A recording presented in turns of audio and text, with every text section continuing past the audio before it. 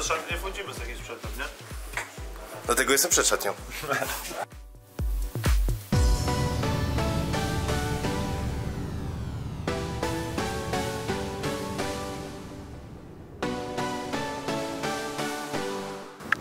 Wariatem już czuję, czuję karnego przy pierwszym trzymaniu.